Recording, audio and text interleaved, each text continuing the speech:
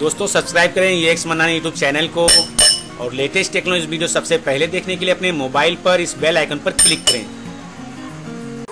दोस्तों, आज के इस वीडियो में आपको बताने वाला हूँ कि आप अगर मान के चलिए जियो का जो पंद्रह सौ वाला फ़ोन होता है, उस मोबाइल में अगर आई प्रॉब्लम होता है तो उसका आप सोल्यूशन कैसे कर सकते हैं? जैसे कि मान के चलिए जियो का पंद्रह सौ वाला फ़ोन है और इस मोबाइल के अंदर में अगर आई इनवैलिड है तो इसका आई रिपेयर आप किस तरह से कर सकते हैं? तो दोस्तों, बहुत दिनों से जो है हमारे यूट्यूब चैनल में कमेंट आ रहा था कई सब्सक्राइबर का कि भाई जो जियो का पंद्रह सौ वाला जो फ़ोन है एफ़ सी और चौबीस ज़ीरो तीन एन ठीक है? तो ये सब मॉडल में जो आई का प्रॉब्लम आ रहा है और इस मोबाइल का जो आई हम रिपेयर किस तरह से कर सकते हैं? तो दोस्तों वीडियो के साथ आप बने रहे। आज मैं आपको बताने वाला हूँ कि इस मोबाइल का आप आई रिपेयर कर सकते हैं, वो भी बिना किसी बॉक्स के। तो दोस्तों, सबसे पहले आप इस आई एम नंबर पर ध्यान दें और आई नंबर आप नोट कर लें और आप बाद में आपको दिखाऊँगा मैं रिपेयर करके कि इस मोबाइल का आई रिपेयर कैसे होता है, ठीक है?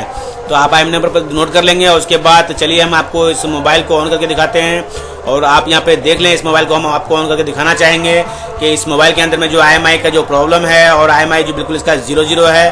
तो चलिए ऑन करके आपको हम यहाँ पे दिखा देते हैं। तो चलिए यहाँ पे हम डायल करेंगे स्टार हज ज़ीरो सिक्स हज और ये डायल करने के बाद इसमें आई जो है यहाँ पे शो करेगा कि इसमें आई नंबर है या नहीं है इनवैलिड है। दोस्तों, आप यहाँ पे देख सकते हैं कि इस मोबाइल के अंदर में जो आई बिल्कुल नल है और बिल्कुल ज़ीरो है, ठीक है? तो चलिए अब इस मोबाइल का आई हम रिपेयर करते हैं। तो दोस्तों आई रिपेयर करने के लिए हमने जो यहाँ पे जो विदाउट बॉक्स का जो टूल है मेडिकल करेक्ट 2.54 इसे हमने यहाँ पे ओपन कर रखा है। और उसके बाद आप डिवाइस में यहाँ थोड़ा ध्यान दें, आप यहाँ पे देख सकते हैं, यहाँ पे डायग्नोस्टिक पोर्ट लिख रहा है, ठीक है? तो ये जो डायग्नोस्टिक पोर्ट जो यहाँ पे लिखेगा, कैसे लिखेगा तो आपको बता दूँ मैं दोस्तों कि इस मोबाइल को आप जो है सिर्फ़ ऑन करके आप लगा देंगे कंप्यूटर में, आपको कुछ नहीं करना है। सिर्फ़ मोबाइल को आपको ऑन करके लगा देना है, उसके बाद यहाँ पे आपको डायग्नोस्टिक पोर्ट यहाँ पे शो करेगा, ठीक है? नब्बे उसके बाद आपको मेरिकल क्रैक 2.54 टूल में आना है, ठीक है? और उसके बाद आप यहाँ पे देख सकते हैं कि L G C D tool इस टूल को हमें सेलेक्ट करना है और यहाँ पे आईएमआई पे चेक लगाना है, ठीक है? उसके बाद मोबाइल के पीछे जो आई नंबर लिखा हुआ है, उसी नंबर को जो है आपको जो है यहाँ पे डालना है, ठीक है? तो हमने मोबाइल का जो पीछे जो आई नंबर लिखा हुआ था, उस नंबर को हमने यहाँ पे लिख करके उसके बाद हमने यहाँ पे पेस्ट कर दिया।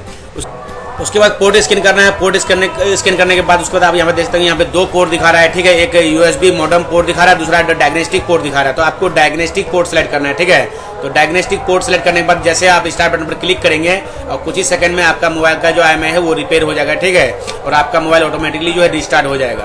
तो चलिए अब हम आपको मोबाइल को ऑन करके दिखाते हैं कि उस मोबाइल का आई अब तक रिपेयर हुआ है कि नहीं हुआ। चलिए, आप यहाँ थोड़ा ध्यान दें और इस आई नंबर को आप यहाँ पर अपने दिमाग में नोट कर ले, ठीक है? चलिए अब इस मोबाइल को हम आपको ऑन करके दिखाते हैं कि इस मोबाइल के अंदर में जो हमने अभी आईएमआई रिपेयर किया है, और वो आईएमआई नंबर इस मोबाइल के अंदर में जो है आया कि नहीं आया, ठीक है?